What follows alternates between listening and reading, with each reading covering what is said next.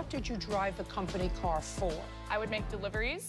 Deliveries of? Honey. Was this employee stung by bad luck? I got too close to a tree on the right-hand side and crunched around. But I did not notice that I had hit the car. Or was she on a path of destruction? I noticed that damage after the second accident, and that is when I told him about it. You realized that you hit a tree or a buffalo. Judge Judy.